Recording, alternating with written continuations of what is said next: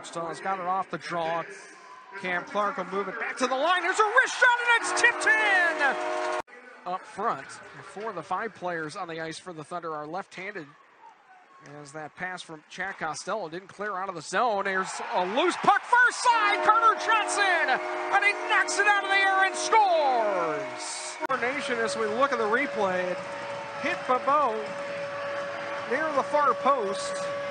It's carrying across the blue line near side and peeling back was Butcher. He'll leave it for Ben Carroll. He'll fire a shot through a screen, rebound in the slot, and it gets through Jake Theut's five hole, and the Americans make it a two to one hockey game. In the first period, Americans will skate to center ice. Here's a pass up ahead and down the seam. They work it near side. Jack Combs wide open, and he ties the game.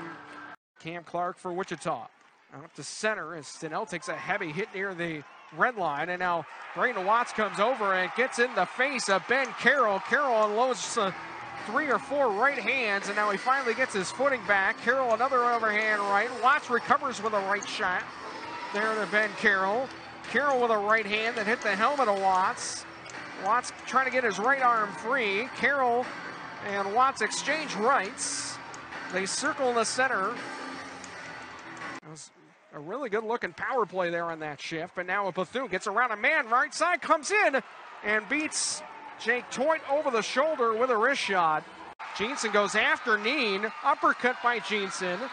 Neen's got that right arm free. Jeanson has the hold of his collar with his left. Ducks a heavy shot from Neen, and Tyler knocks him down to the ice. Stopped there by the leg pad of Theut. Couldn't keep the rebound down free. Here's a chance once again, and that was stopped by Theut's as Jack Combs is robbed.